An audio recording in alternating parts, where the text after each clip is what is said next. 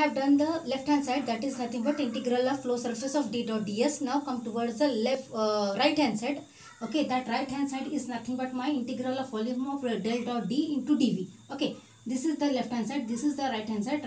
Right hand side is equals to integral of volume of del dot d into dv. What is my integral of del dot d into dv? That is a dou term. Dou dx, dou x, dou dy, dou y, dou dz, dou z. What is my dv in, in terms of the Cartesian coordinate system? That is a dx, dy, dz. Okay, now this is nothing but the divergence form in the Cartesian coordinate system. Here you need to concentrate on the x, here you need to concentrate y and here will be the z. What is my dx? dx will be this term.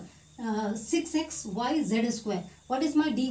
3x square z square. What is my dz? 6x square yz. Likewise. So do the dot term or the derivative part of this dx this dy and this, this dz and multiply with the dx dy dz okay so just apply the three integral why three integral just because of the volume so one will be x one will be y one related to the z and apply the limit 1 3 0 1 minus 1 1 so here in this term okay x y z is there. So there will be the derivation. Here there is no y term. This term will become a 0 here x y z is there.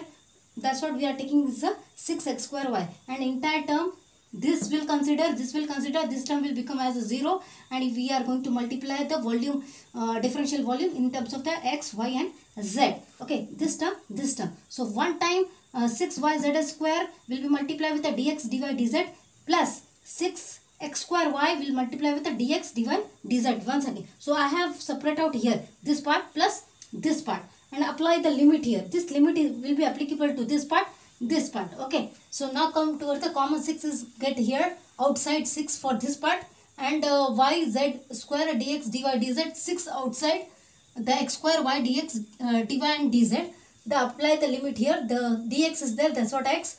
Y is there. That's what y into dy. So y square by 2 z square the z cube divided by 3 here likewise x cube 3 and y dy y square by 2 and the z will be this. If you are going to simplify by substituting the value of the limit, so you will get the answer right hand side is equals to 56 and finally you can conclude that left hand side will be equals to right hand side that is nothing but 56 coulomb. So in this